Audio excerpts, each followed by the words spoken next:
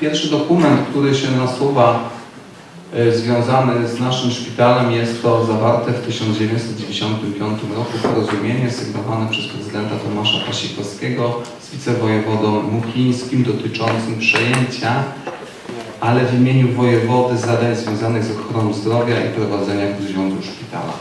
To porozumienie, które tutaj pierwszą stronę Państwu wyświetlam, ona łącznie z ośmioma aneksami, łącznie to jest 47 stron, ono mówi o tym, że w imieniu organu administracji rządowej miasto wykonuje jakby powierzone zadania wojewody. To, to porozumienie obowiązywało do końca grudnia, do 31 grudnia 1998 roku. Wojewoda finansował poszczególne zadania związane z funkcjonowaniem szpitala w Grudziądzu. Dlatego do tego terminu, ponieważ jak Państwo wszyscy dobrze pamiętacie, 1 stycznia 1999 roku weszła w Polsce reforma administracji samorządowej, weszły wtedy kasy chorych i wszelkie sprawy związane z prowadzeniem zakładów opieki zdrowotnej przyjęły samorządy. Aktualny wydruk, który obowiązuje w tej chwili, to jest wydruk z 1 marca 2016 roku. On dziale, proszę zwrócić uwagę, w rubryce szóstej Podmiot, który utworzył publiczny zakład opieki zdrowotnej widnieje wojewoda toruński. Zrozumiałym jest, że następcą prawnym wojewody toruńskiego jest obecnie wojewoda kujawsko-pomorski. Natomiast w rubryce siódmej jedynie jako organ nadzoru sprawujący nadzór jest zarząd miasta Grudziądza. Kolejnym rejestrem dotyczącym naszego szpitala jest księga rejestrowa, no to jest prawie 260 stron, natomiast y, na początku w rubryce 13 nazwa podmiotu tworzącego oraz kod resortowy stanowiący część systemu jest wpisana nie wiadomo czemu Rada Miejska Grudziądza jako organ uchwałodawczy. Wpisany na podstawie rozporządzenia, które, które ogłosił prezes Rady Ministrów w 1999 roku mówiący o w samorządach, które powinny przejąć kompetencje organu administracji publicznej. I przechodzimy do samej ustawy. W 1998 roku, 13 października, wchodzi obowiązująca do dzisiaj ustawa, przepisy wprowadzające ustawy reformujące administrację publiczną. Kilkanaście szpitali zmieniło nazwę bądź adres, na przykład z 1 maja na Jana Pawła II, bo takie zmiany też są pomiędzy rozporządzeniami. Natomiast to, co ważne dla Grudziądza, w całym tym, Szanowni Państwo, rozporządzeniu nie ma szpitala grudziąckiego. Szpital grudziącki został zaginiony w akcji. Nie wiem, czy też błąd popełnił, czy go nie popełnił. Oczywiście po całej tej analizie pierwsze, co zrobiłem, zawołałem obecnego na sali mecenasa Artura Kołcza. Wyświetliłem mu te wszystkie dokumenty i tutaj, Panie mecenasie, Pana zacytuję. Pan mecenas powiedział, że to jest niemożliwe, żeby Panna Młoda była aż tak piękna i była dziewicą. Cytuję mecenasa. Zaskoczenie było wielkie i duże oczy zrobił. Ale oczywiście, mówię Panie mecenasie, dwa tygodnie pełna opinia prawna związana z sytuacją szpitala. Yy, firma Ostrowski Wspólnicy, kancelaria tej mecenasa, jak wiemy, jest największa kancelaria w województwie kujawsko-pomorskim. Na swoim kolegium w składzie kilkunastoosobowym debatowała i wnioski kancelarii są następujące. Miasto od 95 do 98 wykonywało zadanie wojewody na podstawie porozumienia, ale w ramach porozumienia nie nastąpiła i nie mogła nastąpić zmiana w zakresie podmiotu tworzącego. Tym organem cały czas pozostaje wojewoda. Oczywiście ja nigdy nie wierzę jednym opiniom, więc poprosiłem o kolejną opinię, tym razem autorytetów z naszego województwa z dziedziny prawa administracyjnego. Mianowicie spotkałem się z profesorem UMK, doktorem habilitowanym Piotrem Rączką oraz doktorem Tomaszem Jędrzejewskim z Wydziału Prawa i Administracji, specjalistów z prawa administracyjnego Uniwersytetu Mikołaja Kopernika. Po kolejnych tygodniach otrzymaliśmy opinię prawną i to, co najważniejsze, wnioski samej opinii. Nie doszło ostatecznie do przejęcia przez miasto Grudziądz uprawnień, zadań i kompetencji o charakterze administracyjnym organu administracji rządowej. który utworzył samodzielny publiczny zakład opieki zdrowotnej Szpital Specjalistyczny im. dr. Władysława Biegańskiego w Grudziądzu. Wymagało ono bowiem spełnienia kumulatywnie dwóch przesłanek regulowanych artykułem 47 ustawy z dnia 13 października 1998 roku. Przepisy wprowadzające, które cytowałem, z której nie została spełniona przesłanka uwzględnienia szpitala w Grudziądzu w rozporządzeniu wydanym przez prezesa Rady Ministrów. A więc na podstawie opinii profesorów UMK, największych autorytetów w naszym województwie, nie, mo nie mogło dojść do przekazania kompetencji organu administracji rządowej do organu administracji samorządowej. Bo takie kompetencje tylko i wyłącznie można przekazywać na podstawie ustawy bądź w wyniku ustawy rozporządzeń prezesa Ministrów. Spotkałem się w Warszawie, w Uniwersytecie Warszawskim na Wydziale Prawa Administracji z szefem katedry, autorytetem już w Polsce z dziedziny prawa administracyjnego, profesorem doktorem habilitowanym Markiem Mieszkowskim oraz jego, jego pracownikiem tej katedry, doktorem, docentem, doktorem Jarosławem Maćkowiakiem. Pan minister powiedział, że jeszcze do wczoraj myślał, że szpital w jest problemem miasta, a do tego spotkania ma duże wątpliwości, musi zacząć analizować. Oczywiście pan minister zawołał dwie swoje panie dyrektorki departamentów, które analizują trzy, pan senator pokazuje, tak, były trzy, więc, więc analizy prawne. Oczywiście opinie prawne najpierw zostawiłem panu ministrowi, jesteśmy w ciągłym kontakcie z ministerstwem. Poprosiliśmy również o wsparcie ministra w trudnej sytuacji Gruziąckiego Szpitala, ale też i o wsparcie rządowe, rządowe aby bardzo spokojnie, bez emocji rozwiązać ten problem i przede wszystkim potwierdzić sam fakt ze strony rządowej. Następstwem tego spotkania, dlatego właśnie między innymi wspominałem na początku sesji, nie ma prezydenta Roberta Majnowskiego, jest obecne spotkanie z wojewodą kujawsko-pomorskim, panem Mikołajem Bogdanowiczem, który został dzisiaj zapoznany z kompletem opinii prawnych, jak i z pismami do ministra, i, i jak i też spotkanie kolejne prezesem Regionalnej Izby Rachunkowej w Bydgoszczy, Tadeuszem Dotkiem, do którego wystosował prezydent Robert Majnowski pismo, że w związku z zaistniałą sytuacją, jakby odkryciem tej, tej sprawy prawnej, nie może Regionalna Izba Rachunkowa obciążać Y, straty szpitala przypisywać jednostce jakiejkolwiek samorządu terytorialnego, ponieważ faktycznie nigdy nie zostało przekazana y, kompetencja. Panie Prezydencie, co to oznacza dla Grudziądza? Mógłby Pan w krótkich słowach y, sprecyzować?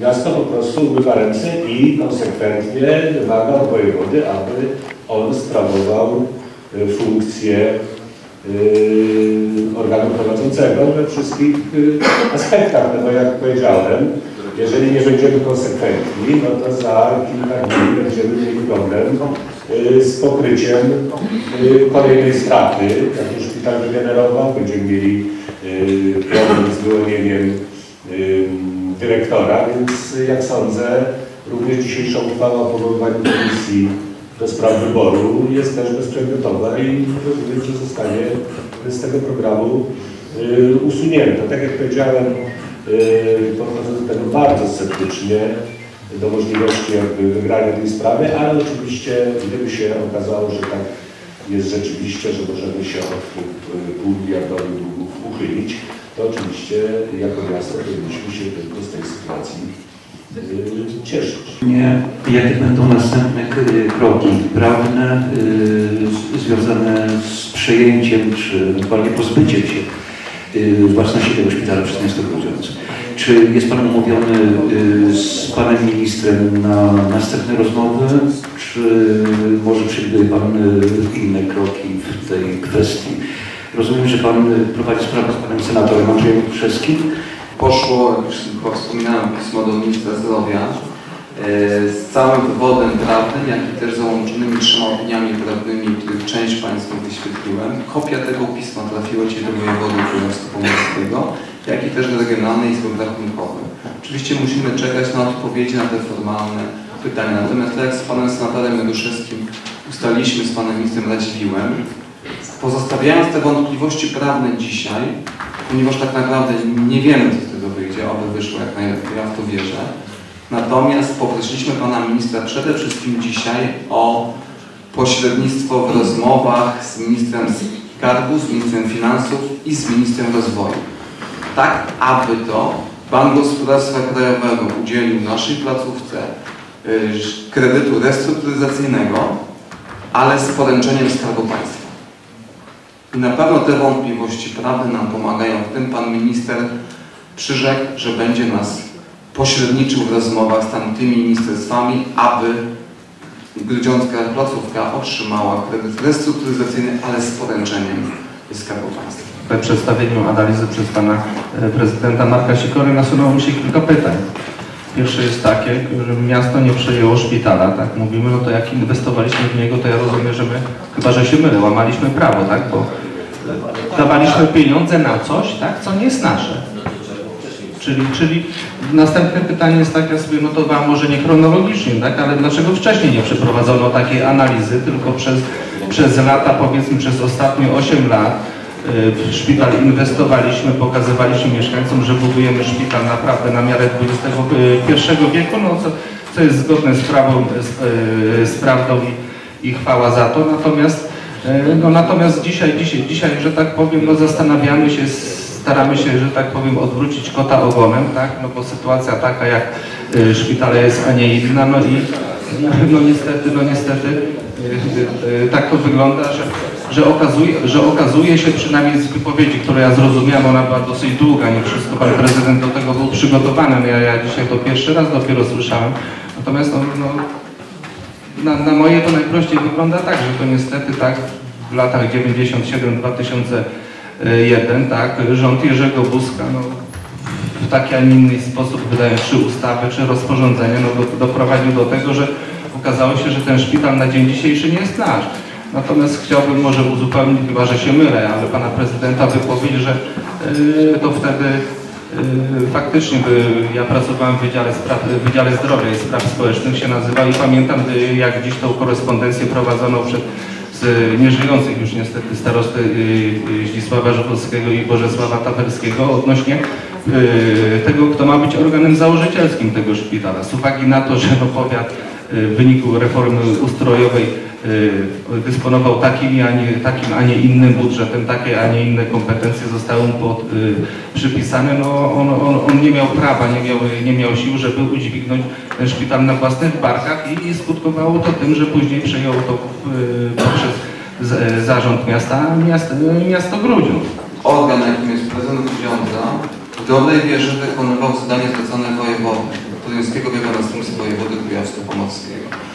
Wynika to przede wszystkim z przepisów tych wprowadzających reformę administracji publicznej. Mamy artykuł 89, który mówi, że jeżeli z dniem 1 stycznia 99 yy, nie w formie ustawy jakieś kompetencje nie zostały przekazane, a wcześniej były zawarte porozumienia, to z mocy prawa te porozumienia, pomimo tego, że były zawarte na czas określony, nadal obowiązują. Mamy tutaj pierwsze odniesienie i drugie no, bardzo głębokie wywody są dotyczące kompetencji samorządów i powierzenia wynikających z ustawy o samorządzie gminnym, wynikających z ustawy, z ustawy o wojewodach. Tutaj głęboka analiza, jak Pana Radna to interesuje, to oczywiście przekazał opinię prawnej, na pewno będzie to rozwiane. Dlaczego wcześniej, Szanowni Państwo, to nie zostało, trudno mi powiedzieć. Być może, nie wiem, brakowało elektryka, tak jak ja, który nie ma nic wspólnego z służbą zdrowia i zadał bardzo proste kiedyś pytanie i doszedł do takiej analizy. Myślę, że na szczęście może i nawet na szczęście nikt wcześniej tego, tego nie odkrył. Tak? Tutaj rzeczywiście ja w korespondencji znalazłem pytanie do, do jeszcze Wydziału, że rzeczywiście nie znaleźliśmy się w rozporządzeniu. Odpowiedź przyszła, ponieważ nie znaleźliśmy się, ponieważ Rada Miasta Grodziądza w 1998 roku podjęła uchwałę o usamodzielnieniu się naszego szpitala. Natomiast Rada Gminy, jak weźmiemy podstawę prawną tamtej uchwały podjętej w 1998 roku, ona wykonywała zadanie na podstawie porozumienia z wojewodą, które wyświetlałem i w imieniu wojewody przekształcała. Więc nie, nas, nie nastąpiło przekazanie tej, tej kompetencji. Tak? Proces z ponad dwumiliardowym długiem na karku i przypisania tej kwoty, albo powiem brzydko, wciśnica tych tak wielkich pieniędzy w skali całego kraju, bo jak wiemy, zadłużenie wszystkich szpitali w Polsce to 11 miliardów, a Gruźniąc ma ponad 500, pół miliarda. Czyli, Szanowni Państwo, to jest ładnych parę procent, które stanowi ten dług w skali całego kraju. Myślę, że Pan Minister Zdrowia patrzy na to z bardzo dużym dystansem. Będzie nam bardzo trudno sprzedać coś, za co wzięliśmy odpowiedzialność, czego jesteśmy autorami, bo przypomnę, że wszystkie decyzje, nie tylko w zakresie budowy, ale rozwoju szpitala, jego struktury, jego świadczeń, były akceptowane zarówno przez Radę Społeczną Szpitala, która przyjmowała przede wszystkim przez prezydenta zarządzeniami. On jest głównym autorem tych wszystkich pomysłów, tych budów. To jest tak jak dyrektor Nowak mówił na konferencji, że nie budował tego szpitala po ciepłej w nocy. Ktoś to akceptował. I teraz pytanie zasadnicze.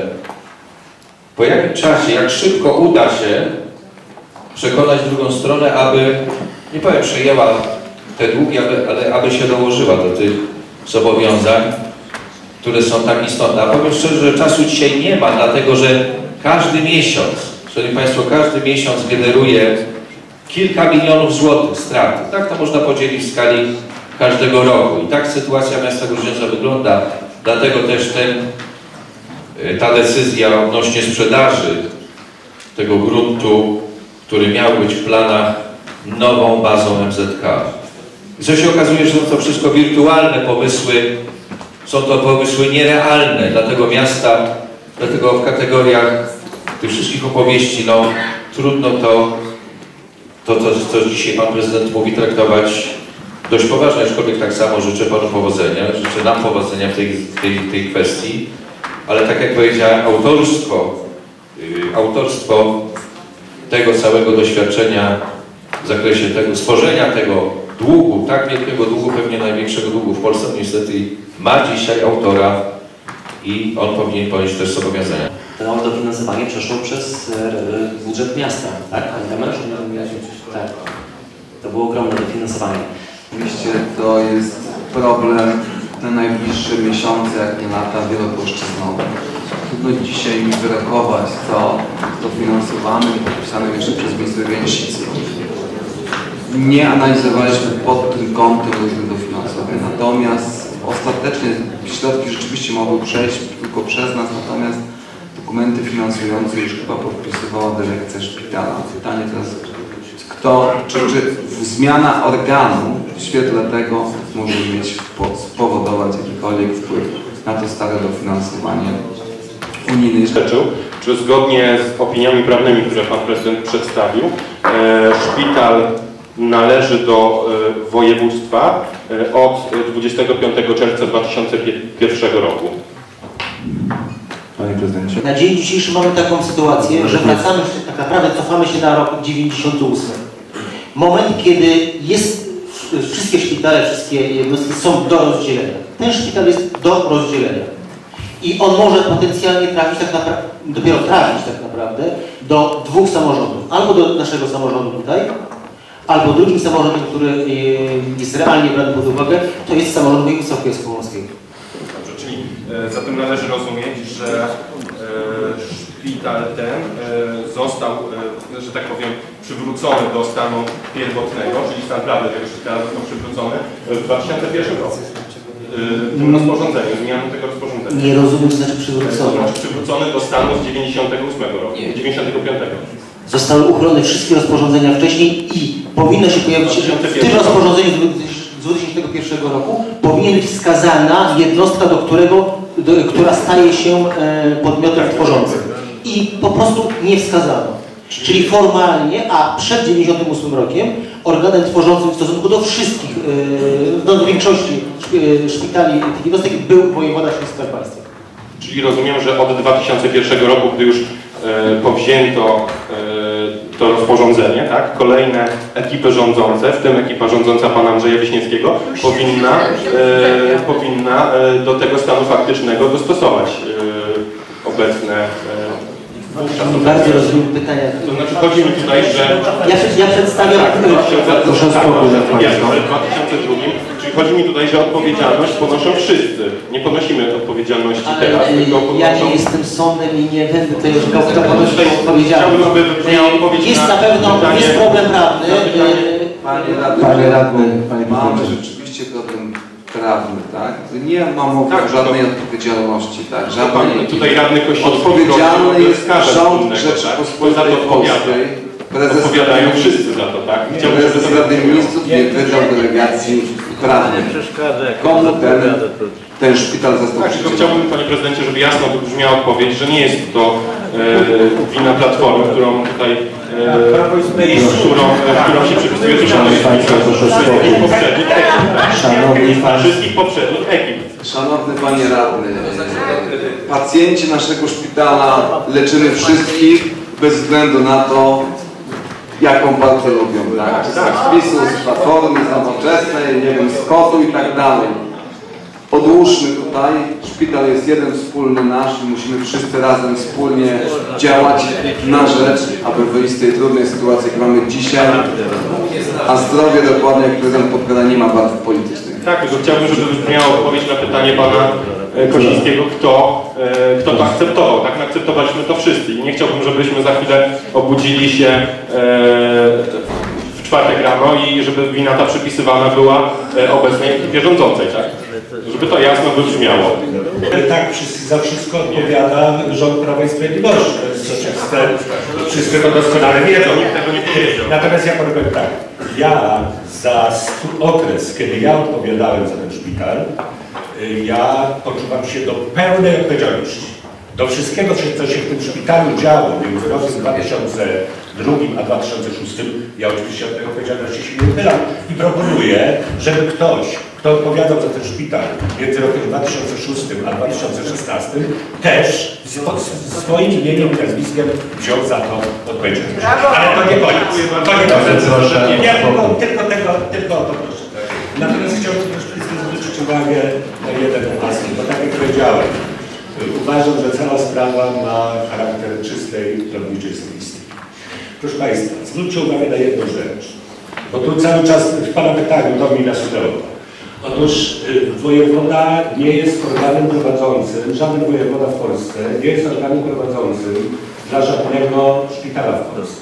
Właśnie wtedy w wyniku tej reformy czy tych zmian tam pojawiły się trzy podmioty prowadzące szpitale. Jeden był minister, minister zdrowia dla szpitali klinicznych, drugim stały się samorządy województw, czyli marszałkowie i trzecim stały się gminy, czyli samorządy lokalne. Wojewodowie od tego momentu przestali być y, organami y. I teraz możemy, jeżeli jest taka wątpliwość, to możemy się co najwyżej zastanawiać, czy ten szpital y, przypadł ostatecznie w udziale miastu, czy może przypadł ministrowi zdrowia jako szpital kliniczny, no raczej nie, czy może marszałkowi województwa, co też myślę będzie ciężko wykazać. W związku z tym naprawdę zachowujmy się tak, jakby ten szpital, problem tego szpitala trzeba było rozwiązać tu, teraz i jak najszybciej, bo będą z tego kłopoty, niezależnie od tego, jak się potoczą te prawnicze, prawnicze spory. Wojewoda nigdzie w Polsce organem prowadzącym dla szpitala nie jest. Dziękuję bardzo. Dziękuję za te, dziękuję za te zapewnienia Platforma Obywatelska odpowiedzialność za część. Dziękuję bardzo.